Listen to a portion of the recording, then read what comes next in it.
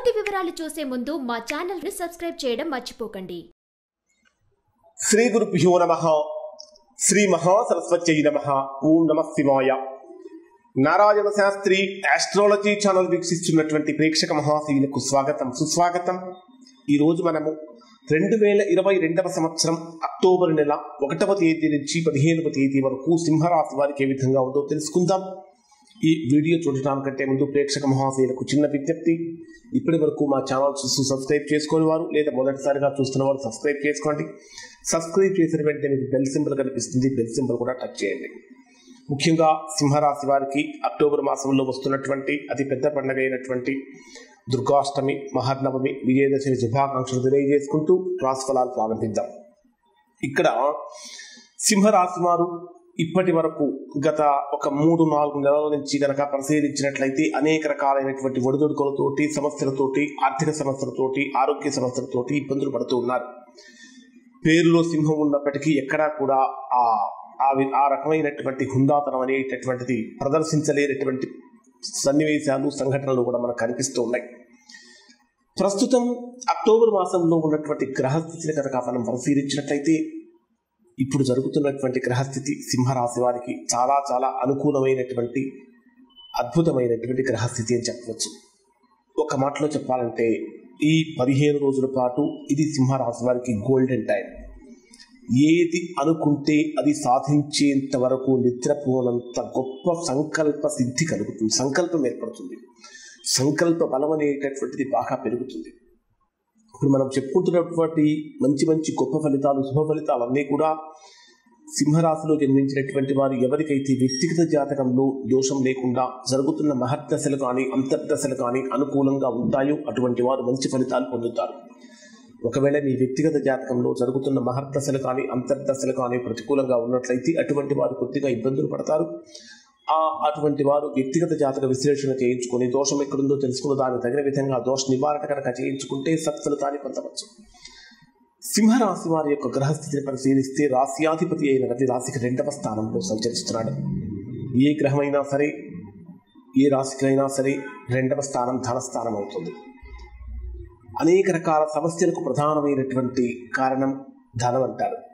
ఎందుకంటే దాదాపుగా ధనం ఉంటే తొంభై శాతం వరకు పనులు చక్కగా సక్సెస్ఫుల్గా ముందుకు వెళ్తాయి.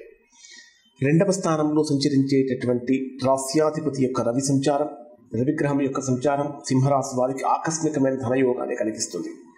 అలానే ద్వితీయ స్థానాధిపతి అయినటువంటి బుధుడు కూడా ద్వితీయ స్థానంలో స్వక్షేత్రంలో ఉచ్చ స్థానంలో సంచరిస్తున్నాడు. మూడవ తేదీ నుంచి వక్రత్యాగం కూడా జరుగుతుంది. ఈ రెండవ స్థానంలో సంచరించేటటువంటి రవి బుధ గ్రహాల యొక్క కలయిక ఈ రాశి వారికి విశేషమైనటువంటి యోగాన్ని అది ఎటువంటి యోగం అంటే ధన యోగాన్ని కలిగిస్తుంది.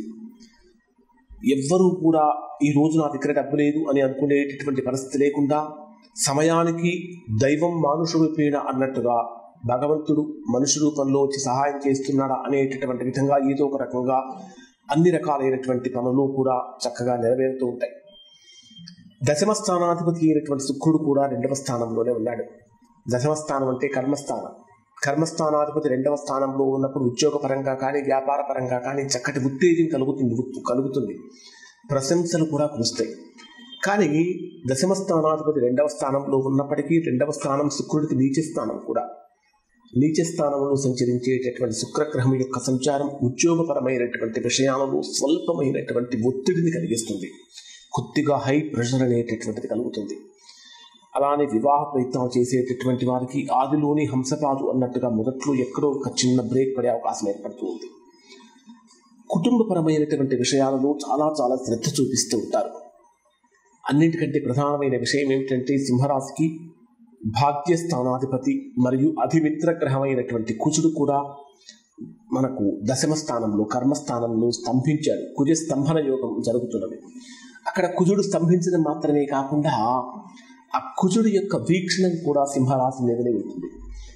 ఎప్పుడైతే సింహరాశి మీద కుజగ్రహం యొక్క వీక్షణం అనేటటువంటిది పడుతుందో పైగా దశమ స్థానంలో ఉండి రాశిని చూస్తున్నటువంటి కారణం చేత కొన్ని సందర్భాలలో స్పీడ్ నిర్ణయాలు తీసుకుంటారు ఫాస్ట్ నిర్ణయాలు. అవి కొద్దిగా ఇబ్బందులు కురిచేసే అవకాశాలు ఉంటాయి. కనుక నిర్ణయాలు తీసుకునేటప్పుడు చాలా జాగ్రత్తగా ఆచితూచి వ్యవహరించడం అనేటటువంటిది కూడా చాలా చాలా మంచిది. కానీ ఏ కార్యక్రమం చేపట్టినా ఎటువంటి అవాంతరాలు ఆటంకాలు ఎదురైనా వాటిని నిర్విఘ్నంగా పూర్తి చేయగలుగుతూ ఉంటారు.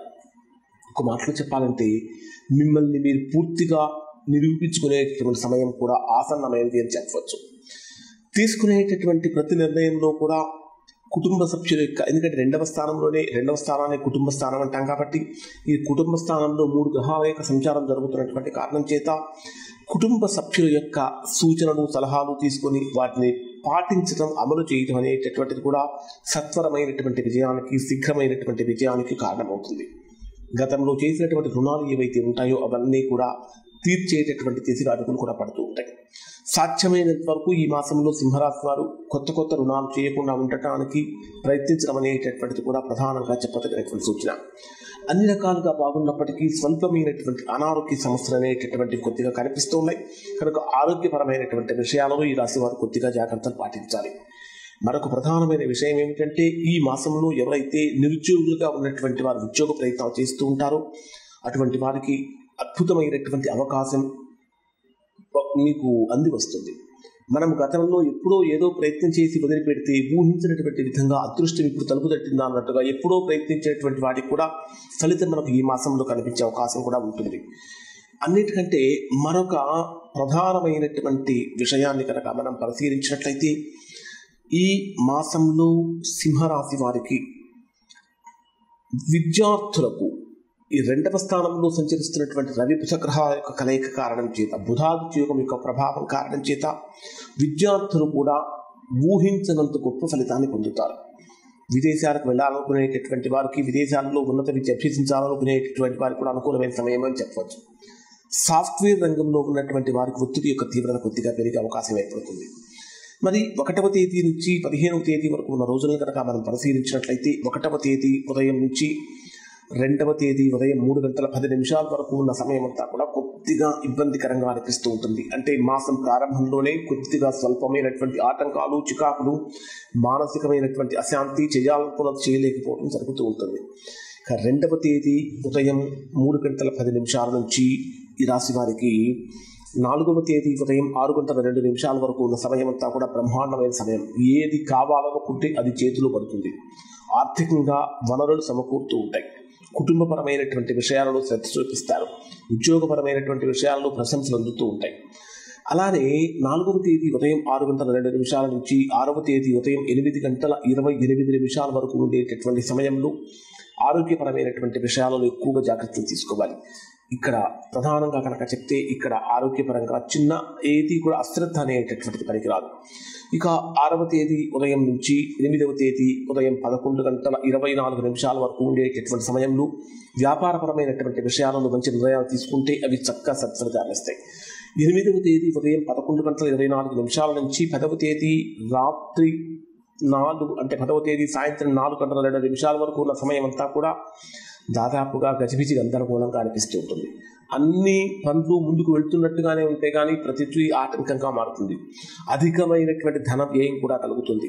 సమస్యలు అనేటటువంటివి లేనటువంటి సమస్యలు ఉన్నటువంటి ఉన్నట్టుగా కనిపిస్తూ ఉంటాయి.